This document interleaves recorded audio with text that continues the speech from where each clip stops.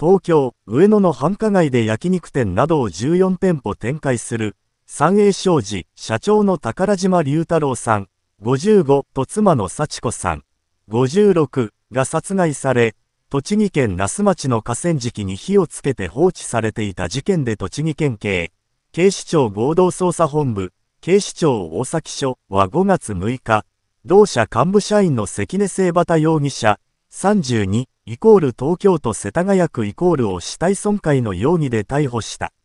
関根容疑者は宝島夫妻の長女と内縁関係にあり、三栄系列の飲食店と競合店の客引きをめぐるトラブルでも中心的役割を担っていた人物で、集英社オンラインではシャープ10で D、シャープ11で X と報じてきた。すでに死体損壊容疑で逮捕されている4容疑者のうち、指示役として仲介役や実行犯をまとめた佐々木光容疑者、28と接点があり、捜査本部は動機や金の流れなどを厳しく追及している。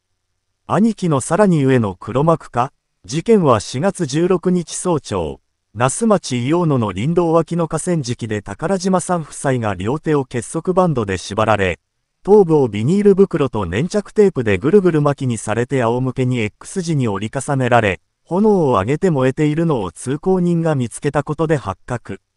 司法解剖の結果、死因は二人とも首を圧迫されたことによる窒息死と判明し、殺害後に現場に放置されて火をつけられた、殺人、死体遺棄、死体損壊事件であることが明らかになった。幸子さんの遺体は顔や頭部を鈍器用のもので激しく殴打されて骨折するなど原型をとどめておらず、身元確認までに1週間を要した。一方で翌17日朝、東京都品川区の大崎署五反田駅前交番に、栃木の事件に関与したかもしれない、と平山綾健容疑者、25、イコール埼玉県越谷市イコールが出頭。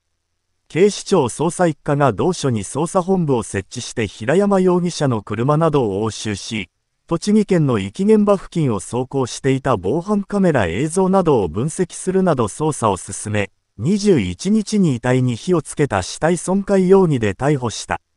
平山容疑者は当初、兄貴、と称する人物からの依頼で車や凶器類を準備しただけで、自身は現場にも行っていないなどと供述。しかし平山容疑者は徐々に、兄貴は怖い人。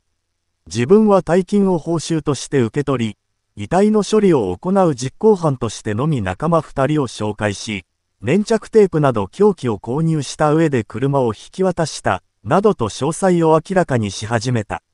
捜査本部の調べで、兄貴は福岡県出身の佐々木光容疑者、28、飲み仲間の実行犯は元俳優の和歌山洋人容疑者、20と京光則容疑者、20と判明。全国指名手配をかけ、それぞれ逃亡先の沖縄県や関東地方などで身柄を抑え、逮捕した。佐々木容疑者は那覇空港で拘束された際に現金数百万円を所持、平山容疑者の関係先からも現金約1000万円が見つかった。捜査本部の調べで、佐々木容疑者から約1500万円を、報酬として預かった平山容疑者が、実行役の2人に250万円ずつ分配、残りを自分が手にしていたとみられる。指示役の佐々木容疑者はこれを上回る金額を関根容疑者から受け取ったとみて、捜査本部はさらなる金の流れを調べている。